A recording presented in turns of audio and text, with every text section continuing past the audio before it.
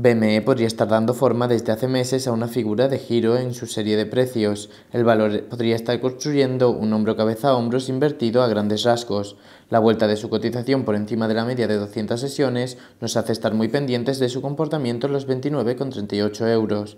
Por estos precios se encuentra la línea de cuello de hombro cabeza a hombro invertido, por lo que su superación nos haría pensar en una continuación de las ganancias hasta por lo menos el nivel de los 36 euros, lo que supone una revalorización de más del 25% desde los niveles actuales de cotización.